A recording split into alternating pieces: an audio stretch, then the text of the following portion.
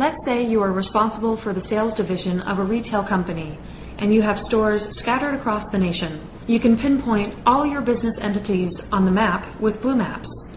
Let's have a look. In this example, we are using Google as the map provider, so we can use the familiar interface of Google Maps to zoom, pan, and navigate our way through our business locations. You can click on any of your business locations to retrieve information on that particular site. Clicking on a store gives basic information about the store. And clicking on a headquarter reveals a different set of information, this time specific to that headquarter. Blue Maps allows you to zoom in to street level focus and zoom out to a bird's eye view to sit back and take in the big picture.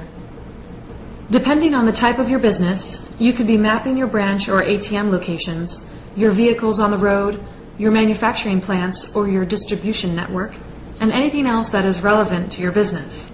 Ability to pinpoint your business entities on the map and navigate through them retrieving business information will give you different perspectives in understanding the state of your business.